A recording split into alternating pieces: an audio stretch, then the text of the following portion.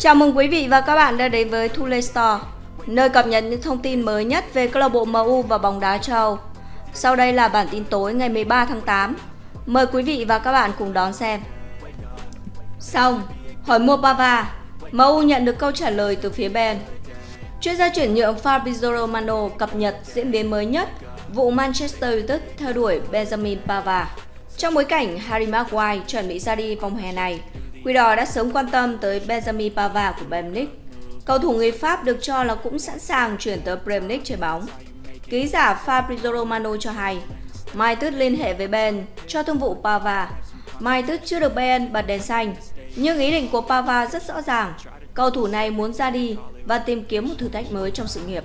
Pavard khá đa năng, có thể đảm nhiệm nhiều vị trí khác nhau, do đó anh trở thành lựa chọn hàng đầu của Eric Ten Hag Tuy nhiên, nhà đương kim vô địch Bundesliga không nhượng bộ Mai Tức trong thương vụ này. Cụ thể, Romano xác nhận Bayern đã từ chối cách tiếp cận đầu tiên của Mai Đức dành cho Pava. Dù vậy, Mai Đức vẫn chưa từ bỏ vì Pava muốn ra đi. Cầu thủ này sẽ không ký hợp đồng gia hạn với Bayern và nhất quyết ra đi. Như vậy, khúc mắc lớn nhất có thể là đến từ mức phí. Nếu đưa ra lời đề nghị hợp lý, Mai Đức sẽ có được người mình cần. Đạt thỏa thuận cá nhân, Arabat hưởng lương bèo bọt ở MU. Nguồn tin từ MUFC Reynis TV khẳng định Sofian Arabat sẽ hưởng mức lương thấp tại Manchester United. Sau khi hoàn tất vụ Rasmus Holland, Manchester United coi Sofian Arabat là mục tiêu hàng đầu cho vị trí tiền vệ phòng ngự. Trước đó ưu tiên của United là tiền đạo mới, nên họ tập trung đàm phán chiêu mộ Rasmus Holland. United được cho là đã bắt đầu triển khai thương vụ này Ký giả Fabrizio Romano khẳng định Arabat rất háo hức được chuyển đến Old Trafford. Khi ấy, Quỷ Đỏ sẽ có lợi trong việc đàm phán với Fiorentina. May tự tin sẽ hoàn tất chữ ký của Arabat trước khi kỳ chuyển nhượng mùa hè khép lại. Lúc này chỉ cần Mai Tức đáp ứng mức giá là thương vụ được thông qua. Dù vậy, chắc chắn Arabat khó hưởng mức đãi ngộ cao khi tới Anh chơi bóng. Nguồn tin từ MUFC Raylis TV khẳng định Arabat đạt thỏa thuận cá nhân với Mai Tức ở đó anh kiếm được khoảng 3,8 triệu bảng mỗi mùa, tức khoảng 75.000 bảng mỗi tuần, con số tương đối khiêm tốn. Vài ngày gần đây, tiền vệ 26 tuổi nhận được 3 hoặc 4 lời đề nghị từ Saudi Arabia, Liverpool và Bayern Munich, nhưng anh khẳng định chỉ muốn khoác áo Mai Tức. Không thể nhận ra đội hình cuối cùng của Rangnick sau 7 hợp đồng của Ten Hag. Cuộc đại tu khôn ngoan của huấn viên Manchester United Eric Ten Hag đã chứng kiến một sự thay đổi lớn về nhân sự trong năm qua. Ralf Rangnick đã kết thúc giai đoạn tạm quyền ảm đạm ở Man United bằng thất bại 0-1 trước Crystal Palace vào ngày cuối cùng của mùa giải 2021-2022. Ten Hag theo dõi trận đấu từ khán đài Selhurst Park khi đã được công bố là huấn luyện viên mới của Quỷ Đỏ. David De Gea xuất phát trong khung thành, trước anh là bốn hậu vệ gồm Diego Dalot, Harry Maguire, Victor Lindelof và Alex Telles. Fred, McTominay và cầu thủ trẻ Hannibal Mejbri tạo nên hàng tiền vệ của Rangnick. Anthony Elaga, Bruno Fernandes và Edison Cavani đá chính ở công. Từ 11 người đó, chỉ còn Fernandes vẫn đá chính thường xuyên ở Old Trafford. De Gea được ra đi vào cuối mùa giải trước, nhanh chóng bị thay thế bởi bản hợp đồng trị giá 43 triệu bảng Areonana Dalot cạnh tranh với Aaron wan cho vị trí hậu vệ phải, trong khi Lindelof chỉ đơn thuần là trung vệ dự bị. Nhiều thông tin cho rằng Maguire có thể gia nhập West Ham trước khi kỳ chuyển nhượng kết thúc. Ngôi sao Anh đã bị Ten Hag tước băng đội trưởng vào đầu mùa hè này sau khi bị thay thế bởi Rafael Varane và Lisandro Martinez. Hậu vệ trái Alex Telles đã gia nhập Al trong khi Elaga hoàn tất việc chuyển sang Nottingham Forest. Cavani ra đi sau thất bại trước Palace, trong khi Cristiano Ronaldo ra đi hơn 6 tháng sau khi bị Ten Hag gạt ra ngoài lề. Fred đã được bán sau khi không thể cạnh tranh vị trí Old Trafford. United đã đồng ý một thỏa thuận trị giá 13 triệu bảng với Fenerbahce để Fred ra đi, trong khi McTominay được West Ham đang quan tâm. Ít nhất 7 vụ chuyển nhượng đến đã giúp Ten Hag chuyển đổi ngoạn mục từ một đội hình cán đích ở vị trí thứ 5 trong mùa giải 2021-2022, đủ điều kiện tham dự Europa League vào ngày cuối cùng nhờ việc West Ham thua trận cuối mùa. Sự bổ sung của Onana dường như là một bản nâng cấp cho De Gea. Varane đã được ký hợp đồng một năm trước khi Ten Hag đến, nhưng mới hình thành mối quan hệ đối tác tuyệt vời với Martinez, người đã gia nhập MU từ Ajax hè 2022. Luxor cạnh tranh với Tyrell Malaysia.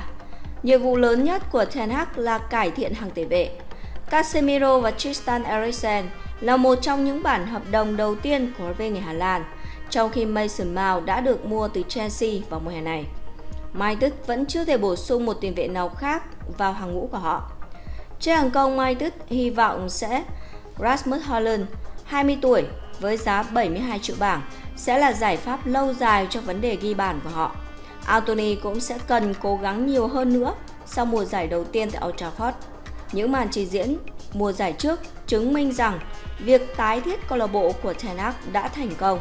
Người hâm mộ đang mong đợi những mục tiêu cao hơn ở mùa giải này.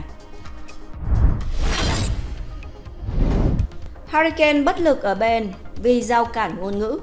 Hurricane đã ra mắt Bayern Munich ở trận tranh siêu cúp Đức, nhưng tỏ rõ sự bất lực vì giao cản ngôn ngữ.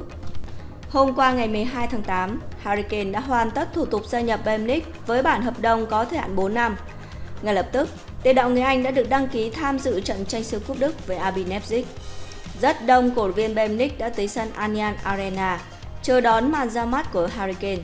Ngôi sao người Anh không đá chính nhưng đã được huấn luyện Thomas Tuchel tung vào sân ở giữa hiệp 2. Thời điểm Bayern Munich đang bị dẫn trước với tỷ số 0-2. Tuy nhiên trong đêm diễn thất vọng của Bayern, Hurricane không thể tạo nên sự khác biệt. Hùm xám thậm chí còn để lọt lưới thêm một lần nữa và nếm thất bại chung cuộc với tỷ số 0-3. Dani Olmo là người đã ghi cả 3 bàn thắng cho RB Leipzig. Ở trận ra mắt Bayern Munich, Hurricane tỏ ra khá lạc lõng vì rào cản ngôn ngữ. Điều đó thể hiện rõ ở tình huống RB được hưởng phạt đền chỉ ít phút sau khi vào sân. Nhiều cầu thủ Bayern đã vây trọng tài để phản đối quyết định thổi 11m, trong đó có Hurricane. Nhưng do không thể nói tiếng Đức, tiền đạo người Anh gần như bất lực trong việc giao tiếp. Anh mặc nhiên đứng nhìn và gần như không phản ứng. Thực tế thì Hurricane vẫn chưa chuẩn bị tinh thần tới Đức thi đấu.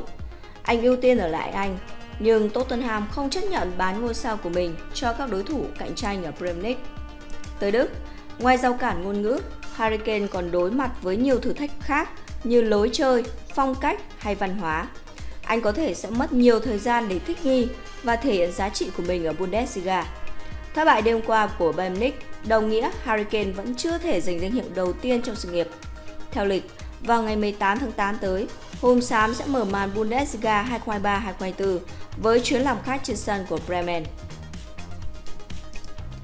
Lùm xùm của Mbappe tại PSG có bước ngoặt lớn.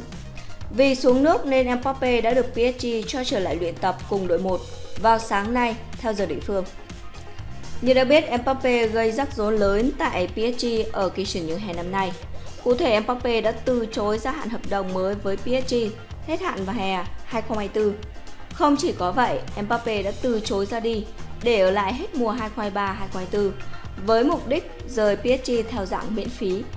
Vì thế Mbappe không đến Al Hilal dù PSG đã chốt thỏa thuận bán tuyển thủ Pháp cho đội bóng Saudi Arabia. Do Mbappe không hợp tác nên PSG loại ngôi sao 24 tuổi khỏi tour châu đấu hè. Chưa dừng lại đó, họ còn cấm Mbappe luyện tập với đội 1 và gạch tên cựu sao AS Monaco khỏi danh sách trận hòa Lorient tại vòng 1 nước Anh sáng sáng nay. Ở trận này, cùng tân binh Dembele, Mbappe đến sân nhà cổ vũ các đồng đội. Theo Quick, giới chủ PSG đã gửi thông điệp rất đanh thép đến Mbappe. Theo đó, nếu ở lại, Mbappe phải ký hợp đồng mới. Nếu không gia hạn, tuyển thủ Pháp phải ra đi ngay hè này. Trong trường hợp quyết bám trụ tại PSG, Mbappe sẽ bị trao giò nội bộ suốt mùa 2023-2024.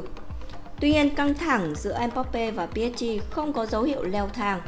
Bằng chứng là trong thông báo vào sáng nay theo giờ địa phương, PSG được xác nhận đã cho Mbappe trở lại luyện tập cùng đội 1. Sau cuộc nói chuyện rất tích cực và mang tính xây dựng giữa PSG và Mbappe trước trận đấu với Lorient, Kylian Mbappe đã được trở lại luyện tập cùng đội 1 vào dạng sáng nay, trích thông báo của đội bóng Paris. Trước khi PSG đưa ra thông báo trên, Calan Plus tiết lộ Mbappe có thể gia hạn hợp đồng mới với đội bóng Paris. Cũng liên quan đến lùm xùm này, theo quyết sáng nay, Chủ tịch Laser Ankalafi sẽ gặp Mbappe để thảo luận tương lai của chân sút 24 tuổi. Sau đó, quyết định cuối cùng về chuyện này ở hay rời của PSG của Mbappe sẽ được đưa ra và chuyển đến huấn luyện viên Luis Enrique.